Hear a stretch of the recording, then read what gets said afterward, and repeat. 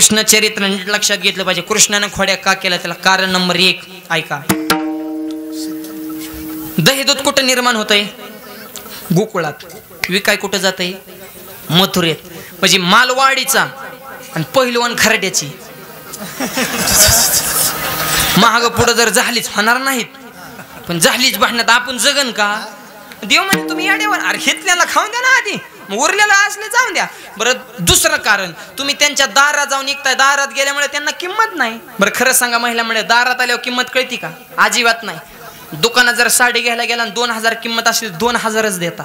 पण दारावर जर एखादा साडी काय आला काय त्या बिचाऱ्याची तुम्ही राडोळी करता वय? ते म्हणतो मेलेलं बरं पण हिच्या सगळं व्यवहार नको करायला. ते म्हणला ना हजाराला हजार दोनशेला कोणी घ्या तीनशे दे तीनशे हजारच्या ठकीला बी घ्यायला होते. देऊन टाक तीनशेला ती गटुडं बांधतो निघूनच जात. दाराव आलाय ना दाराव आल्यामुळं किंमत कळत नाही. देव म्हणजे त्यांच्या दारात दही दूध विकताय मरणाची. काय गरज आहे तुम्हाला? गावातच बाजारपेठ निर्माण करा. त्यांना गरज असेल तर इकडे येऊन दही दूध घेऊन जाऊ द्या. आपण पाहिजे त्या रेटमध्ये आपला माल विकू शकतो. अर्थशास्त्रामध्ये मार्केटिंग ज्याला म्हणतात ते भगवंताने केलंय पण लोकांनी देवाचं ऐकलं कारण चांगल्याचं लोक ऐकत नाही. पण देवाने दुसरा पर्याय काढला. तुम्हाला दही दूध नसलं तिकडं हे तर विकायचं. आम्हाला माल द्या. आम्ही गावात बाजारपेठ निर्माण करतो. लोक म्हणे हम्म तुला पैसे खायचं असते. जी चांगल्याला लई त्रास आहे राजा हो.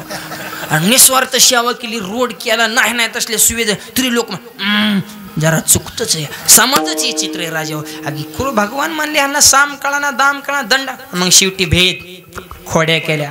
आणि परत अध्यात्म स्वरूपातला आहे का? हरिणे माझे बार वित्त चोरी केली चित्ताची कुलोप मायेचे तोडिले कवाड भ्रांतीचे उघडेल डेरा फोडीला धंबाच. शिंके अविद्येचे तोडिले या अध्यात्म स्वरूपाची चोरी भगवंताने केली.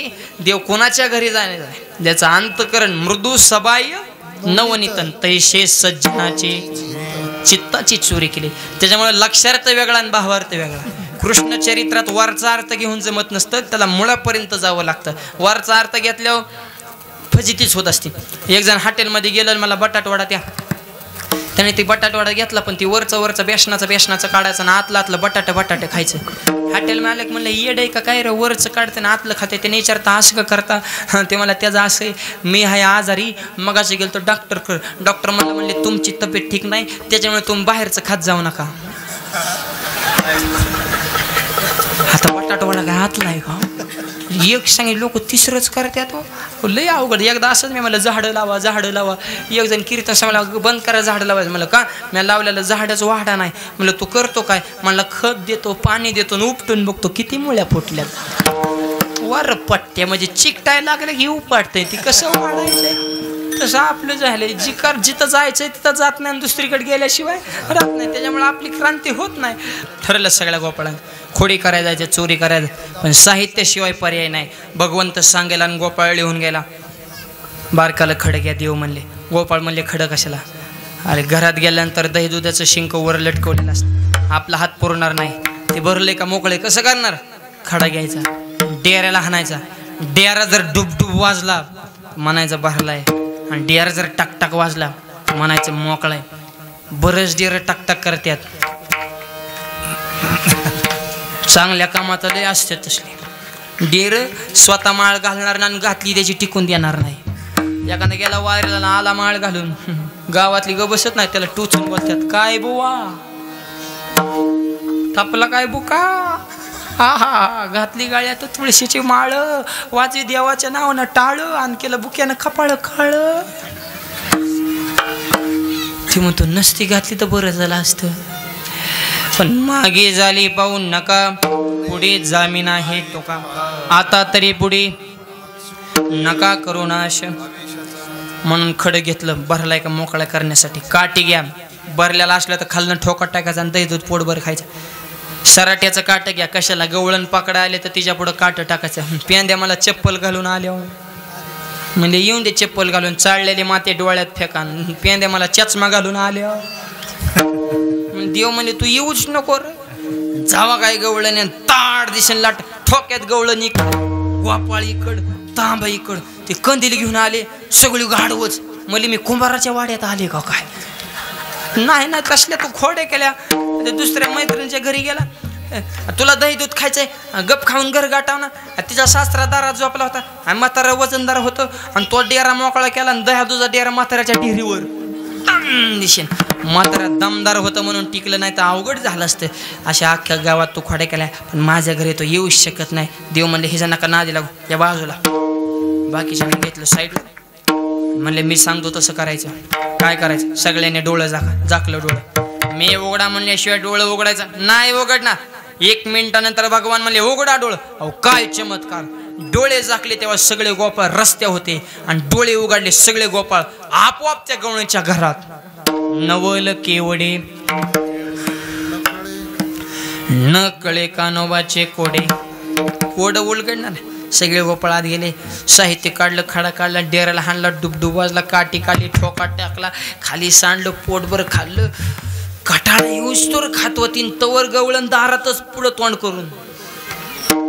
गवळण म्हणली पोरं मला विहिलीच. दारातून सुद्धा ये जा करे नाही ह्याला म्हणायचं शब्दातलं वजन. पोरं विहिलीच अग माग बघ गर्दून खाल्लं या. आणि मग गवळण म्हणले आता कृष्ण खोळ्या करीतच नसतो घरात माघारी फिरली तो दह्याचं दुधाचं सगळं पाठ वाहत्यात आहे. गवळण पळाली बघितलं कृष्ण. कृष्ण मला पियांद्या पळय गवळ अरे पियांद्या मला कुठून पळतो? अरे खिडक्यातनं उड्या टाका. अरे खिडक्या लावल्या. अरे दरवाजातून पळाला. अरे दरवाजा बी लावला. म्हणजे आता काय करायचं? तवर तर वाकड्या खातच देव मला वसरा तुला कोण मिळलं होतं का नव्हतं? अरे म्हणजे चल आपली चोरी उघड. अरे म्हणजे जायचं कसं? म्हणजे सगळ्यांनी डोळं जाकलं सगळ्यांनी डोळं झाकलं पण पियांद्या म्हणला आल्या का? डोळं झाकलं की बाहेरचा माणूस आत येत आणि डोळं झाकलं की आतलं बाहेर जात काय भानगडे एक डोळा उघडा ठेवूनच बघा. पेंद्याने एक डोळा उघडा ठेवला आणि पेंद्या माळवादाच्या सवान्यातच गुतला. पूर्वे मातीची घरं असायची सूर्यप्रकाशाला छिद्र असायचं. त्याच्यातच ती गुतलं नारण्यापासून मुंडको घराच्या वर स्लॅपवर तर बाकीचे गोपाळ वर पोचले होते आणि ही शरीर खाली घरात लोंबायचं. गवळणीने काठी काढूनच अभिषेक सुरू केला. वक्रतुंड महाकाय केशवाय नमानम एक दोन तीन. जी पाय जोडायला सुरुवात केली खाली माईक वर स्पीकर खालच्यांना कळाना वर काय चाललंय वरच्यांना कळाना खाली काय चाललंय. गवळण म्हणायची इतकं ठोकं टाकत तर हे बॉम्बला ना कस कारण आवाज वर जायचा. आणि वरची म्हणायची आम्हाला तर काही दिसना तू का आराटतो या? ते मला काय झालंय माझी मलाच माहिती वाच देव म्हणे तुला आगावपणा कराय कोणी नाही रे बाबा चुकला. अरे मान चुकीचा पुतळा मग जाग डोळ. पेंड्या बाहेर निघलो. मग गवळीनं काळ नंदाचं कार्ट. लय बाय चोरतो. तुकार पोर गोळा करतं गावात येतं घरात येतं खोड्या करतं दही दूध खातं.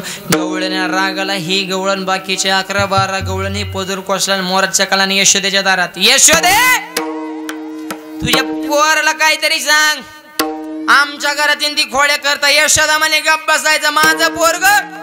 बाळ सगुण गुणाचे तांडे बाळ सगुण गुणा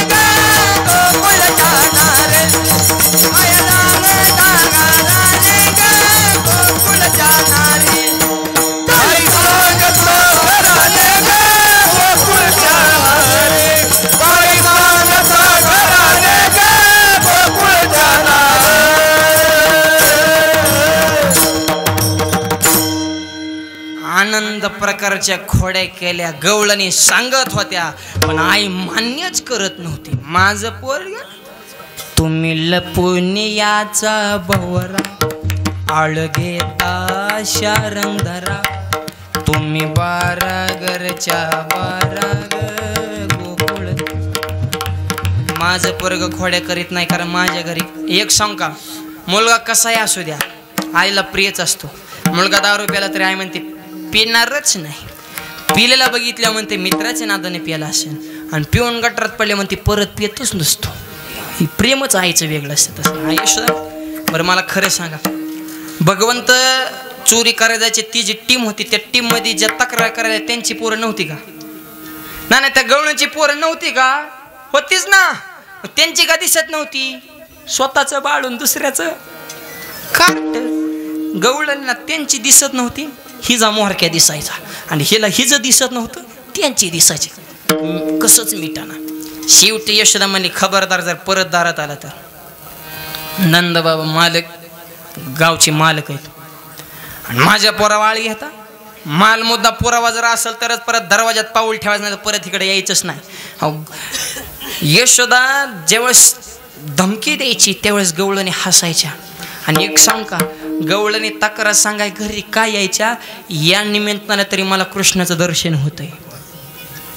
हा त्याच्यातला खरा कृष्ण चरित्र भावार्थी ज्या राग राग यायच्या त्या जाताने हसत जायच्या. कारण जे आता तक्रार करा येत होत्या त्याच गवळणीने हाच कृष्ण जन्माला आल्याच्यानंतर तुकोबाऱ्या म्हणतात गुडिया तोरणे करते कथा गाते गाणे. गुड्या उभारल्या तोरणं बांधली.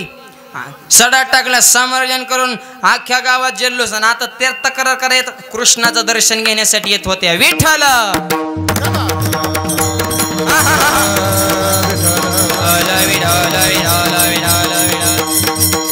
आनंद प्रकारच्या खोड्या केल्या रे. कृष्णाने घराघरात भांडणं लावली सासूनत भांडणं लावली जावा जावात भांडणं लावली भावा भावात भांडणं लावली. ऐका बरं का? कृष्णाने भांडणं लावली गोंधळ गोकुळात केला आपण. गोंधळ होता भौतिक आणि त्याच्यातलं सुख होतं आध्यात्मिक.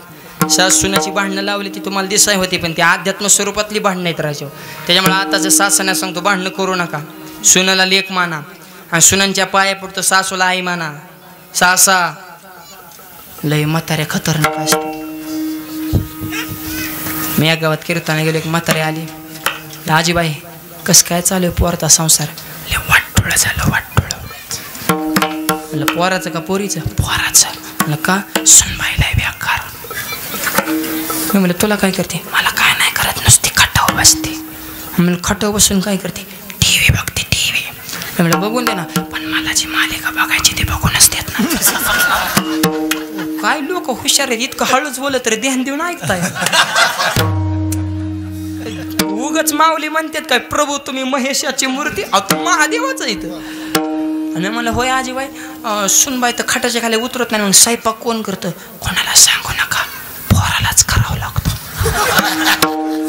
मी म्हणलं आजीबाई झाले पोराचं वाटोळं. सुनबाई खाटाच्या खाली उतरत द्या सोडून. आली या बघ कशी असावे साजरे लेकीचं कसं काय? जावई कसं काय? जावाचं नाव काढले म्हातारी पिटूनच उठले. माझा जावाय? नाव कशाला खाता सोनं सोनं. माझ्या पुरला इतका जीव लावतोय की तिला खटाच्या खाली उतरूनच देत नाही. अगं मग इकडं तरी काय ती चाललंय ना? मग तिकडं पळत आणि इकडं जळते. सासा हो. आ? पटत का मनाला? पटत? तुमच्या तुम्हीच बुद्धीने विचार करा का? आम्ही सांगायच्या गोष्टीत का? सुनाला लेख मानान सुनाना सांगतो. सुना जरा कान खोल के सुना. सासूलाच आई माना. जर तुम्ही तुमच्या सासूला आई मानणार तर तुमच्या जीवनात आनंद येणार. आणि जर तुम्ही तुमच्या सासूला त्रास देणार तुमच्या माहेरात तुमची भावजे तुमच्या आईचा काटाच काढणार. देव सोप आहे का काय? देवाने दोन चाकं टाकले. एक तिकडं आणि एक इकडं. समान चाललं पाहिजे बा आणि एक सांगतो सुनांनो फक्त सासूला आई म्हणा आजपासून. बघा सासू किती तुमचे प्रेम करते. हा तुम्हाला स्वयंपाक करायची सुद्धा गरज नाही. म्हातारी स्वयंपाक करणार पण तुम्हाला येतो ना करायला? कारण आता पुरीनं स्वयंपाकच येत नाही नवीन सुनांना. कारण आई मरणाचा लाड एक सांग का पाया पडतो सगळ्या महिलांच्या. मुलीला स्वयंपाक शिकवा. तुमची लय अपेक्षा ना मला कलेक्टर जावाय पाहिजे. जावाय मिळन पण उपाशी मरण. येतच नाही स्वयंपाक म्हण. अयो का पुरी झाले लग्न सासू म्हणले सुनबाई करा पुरणपोळ्या हे म्हणले आयो चपात्यात जपत आणि पोळ्या कशा करायच्या? त्यांनी मम्मीला फोन केला मॉम मॉम म्हणली काय काम? ही म्हणली मला आलाय घाम कारण सासू म्हणजे अनुभव. पितरपाटामध्ये पोळ्या करतात ना जुनी माणसं जी आपली एक्सपायर झाले ती कावळा बनवून निवेद खायला येतात. अशी माणसाची श्रद्धा असते. आणि सासू म्हणली तुमचे सासरे बाई एक्सपायर झालेत ते आता कावळा बनवून येते निवेद खायला करा पोळ्या. हिने आईला फोन केला. आईने सांगितलं डाळ गोळ तेल मीठ. आई सांगा आणि पोरगी लिस्ट गोळा कराय.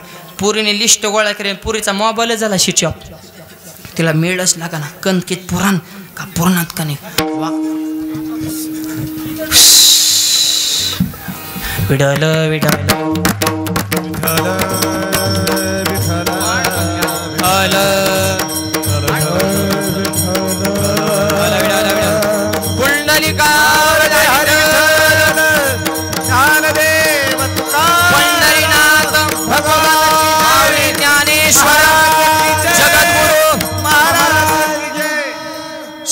स्वयंपाकाची कधी किचन खुलीत गेलीच नाही. आईने लिस्ट सांगितली पण मोबाईल शिच्या झाल्या तिला पुढचा वेळच लागला तिने वाकड्या तिकड्या चपात्या बनवल्या भाजीचा तर कसलाचा अंदाज नाही. कांदा मीठ मिरची जिरी मोहरी लसूण इतक्याच मिरच्या वाटल्या.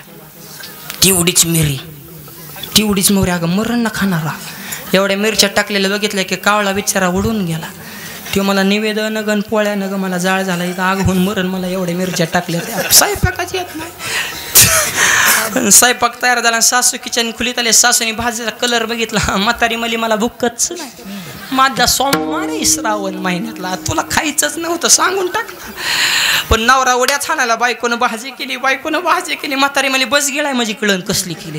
पहिला घास काला कानातनच दूर निघाला खर्र.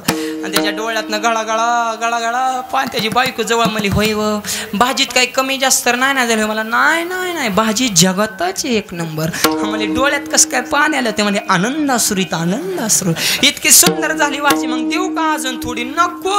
आता आट्या केला आट्या.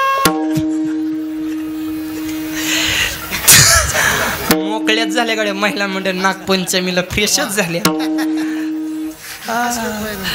आणि घरामध्ये विचार ठेवा. स्वर्ग मृत्यू पाताळ भावना डोक्यातला काढून टाका. दोन वाजले तरी तुम्हाला अजून घर आठवलं ना हाच खरा स्वर्ग आहे. ह्याच्यापेक्षा स्वर्गाचा आनंद कसा वर बघायचं कमी करा. माणसं उगं येड्यावानी वर बघतात. वरच्यांचे किती मजे असेल र. म्हणजे इंद्रच वरचीच वर कटाळ्यात आहेत. त्यांनी दनादन खाली उड्या टाकल्यात आहेत. अनंत प्रकारच्या असणाऱ्या भगवंतानं खोड्या केल्या. शेवटी आईनं मान्यच केलं नाही. आणि भगवंताने त्या बारा गवळीत एका गवळ्याने असं चॅलेंज दिलं. तिने सांगितलं कृष्णा तू कोणाच्या घरी जातील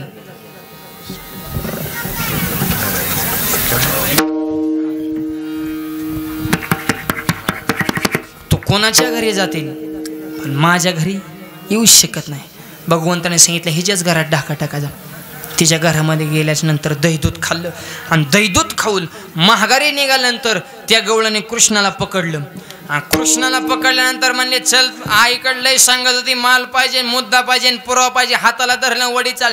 निम्या वाट्यात भगवान गेले म्हणले गवळण नेऊ मला आईकडे नेऊ नको असं मी म्हणतच नाही मला तो नीच. पण मगाच्या धरून माझा डावा हात तो दाबून धरलाय काय लेकराची दया माया येते का नाही? माझा डावा हात सोडून उजवा धर.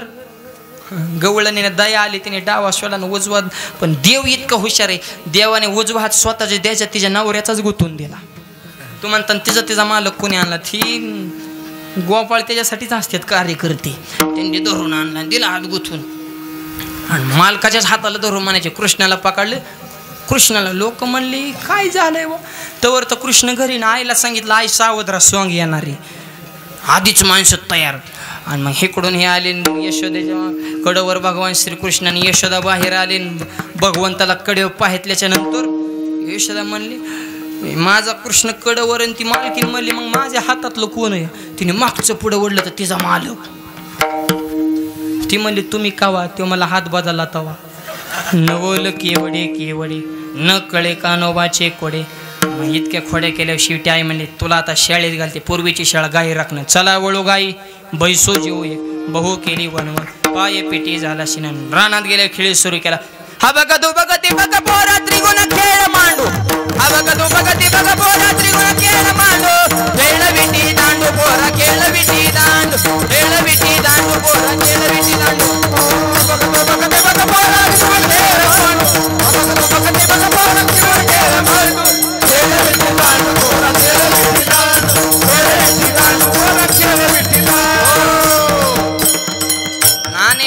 खेळाचे खेळ केल्यानंतर एक म्हणला खांदेवार पोटी भूक काय खेळायाचे सुख?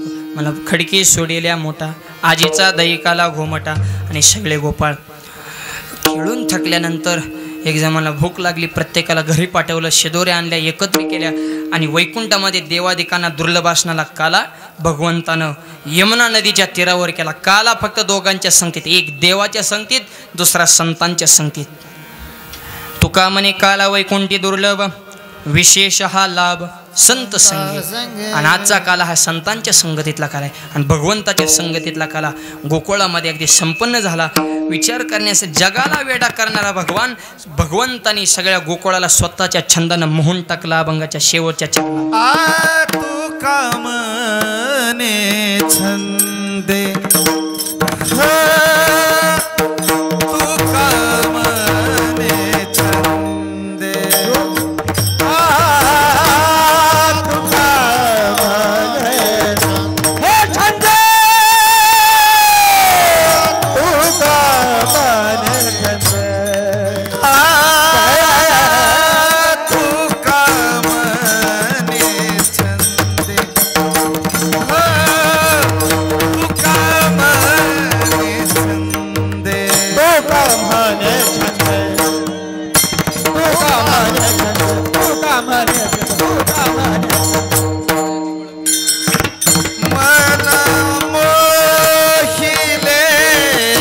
गोविंद मन मोहिले गोविंदे मन मो